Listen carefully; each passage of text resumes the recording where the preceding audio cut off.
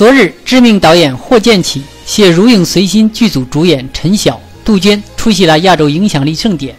当晚，陈晓荣获了最佳男演员奖，可谓是实至名归。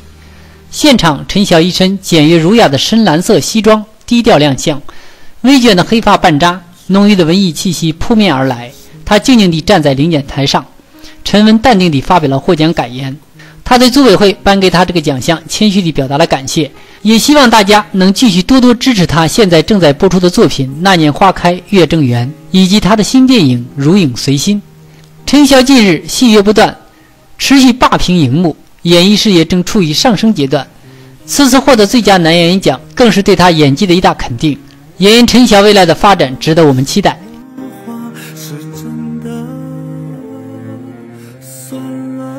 回答的全都不是真的，